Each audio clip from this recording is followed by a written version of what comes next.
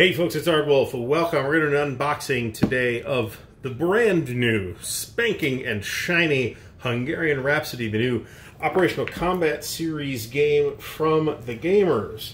Uh, series designer on this would be Dean Essig. The game designer is Stefan Acquaviva, sounds like, and game developer Curtis Baer. Um, this is the new OCS title, of course, but I think it's also the first one to be developed since the change of chain of command for OCS. Um, Curtis is now the series honcho. John Kisner previously filled that role and was responsible for Smolensk and the last several OCS titles, uh, all of which I was pretty happy with. So let's see what we get here. Uh, first of all, I'll mention um, this guy is in a full two-inch box, which I'm happy to see. Um, the MMP has been historically kind of goofy about that, in that they've often put these relatively large OCS games in inch and a half boxes where you have absolutely no hope of getting them all in the box. So here we have the component sheet. We have a box and a lid, two 22 by 34 map sheets, one Budapest area map, six counter sheets, including two identical OCS 4.2 marker sheets, one OCS 4.3 series rulebook, one Hungarian Rhapsody specific rulebook, two OCS 4.3 charts and tables, a Hungarian Rhapsody scenario book, two tables in order of arrival booklets, six player aid cards, two core marker displays, and two six-sided dice. Now, I will mention that um, some, it seems, of the OCS 4.3 rules that have been shipped out with this are misprinted.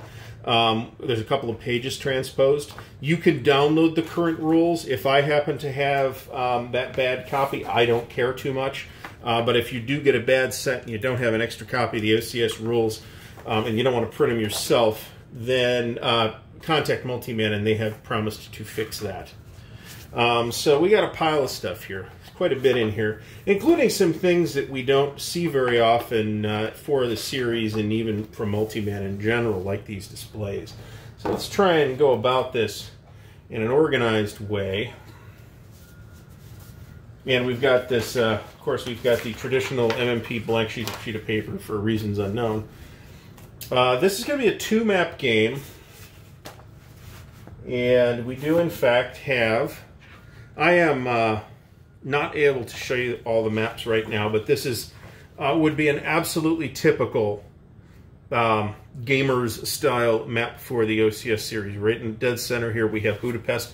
We also have this little Budapest inset map to reduce counter clutter, which is probably a great idea, thinking about it. Uh, the second map is right here. Not a super colorful map, um, I don't think. Um, this is one that I've been fairly, I don't want to say super deep, but I've been reasonably involved in the playtest for the third winter. Um, I have not played this yet. None of the guys in my group have played this yet, so it is very likely that Hungarian Rhapsody is going to be our next OCS game. Um, all right, so we have a Hungarian Rhapsody game-specific rules, which is typical thick gamers style paper, 28 pages, um, there is color in here, even though there's a bunch of black and white pictures in the back. Um, there is some color, so this technically qualifies as a full color rule book. Um, these weird units with the white frames around the borders are white frame units, and they can't move south of the white line that's on the. You may have noticed it's on one of the maps. So game-specific rules. We have Axis tables in order of arrival, which you see uh, is also in partial color at least and a very nice TEC actually. Uh, we also have Soviet tables in order of arrival.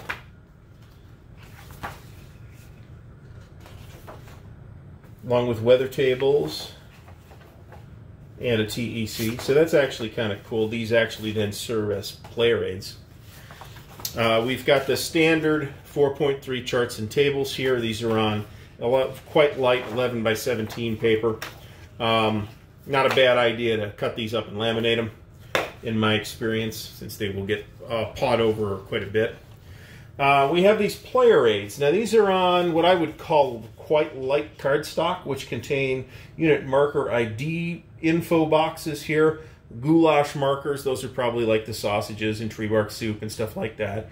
Um, Axis dead piles, white frame units, white frame units, and no white frame units. Um, here is an, another Axis player display with reinforcement tracks and breakdown regiments. That's interesting. That's something I haven't seen before. Uh, similarly with the Soviets, uh, reinforcements, units and markers, general records tracks, special wagon extenders. That'll be interesting. Uh, then we have are all, all these. Uh, these are all single-sided, as you'd expect. Um, then we have Soviet Player Aid 2, which is more dead pile, white, white frame, no white frame. But then we have this RVGK box. That's a special type of headquarters that can be used um, in the third winter as well, uh, from which units can kind of be stored and then released. I don't know if it works the same way in Hungarian Rhapsody, but um, that's actually pretty cool that they give you that display.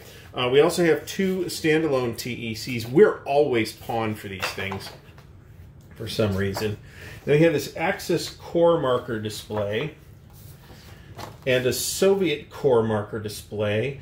Um, this might be, might be, maybe not. The only, this is unusual for an OCS game to have this kind of thing. Um, everybody uses the core markers that I've played with, um, but they just have to have them piled off the map somewhere uh, because it's always been a thing where you can't include core markers in OCS games. Uh, and then we have two maps.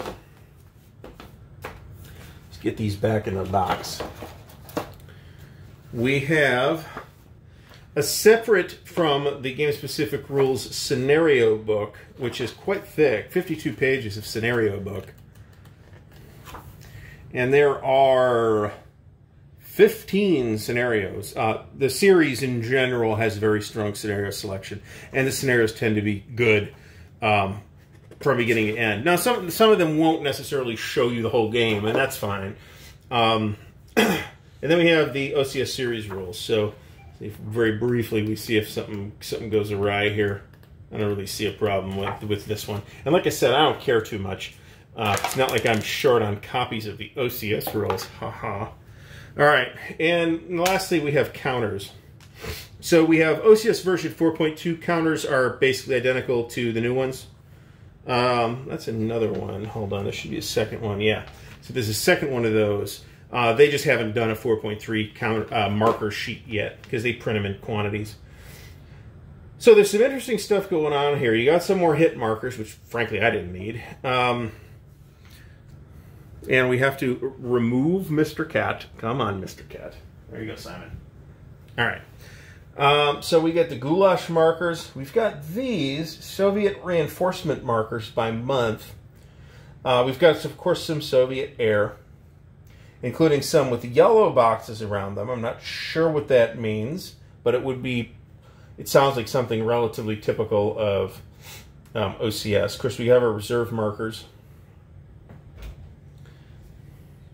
Simon here is being really, uh, really assertive at this exact moment. Here, sit on my, sit on Papa's chair. All right, and then we got unit sheets. Uh, again, these look quite standard for OCS. We've got some formations down here. These would be your Germans. Here's your SS. These would be your Soviets. The orange would be your guards.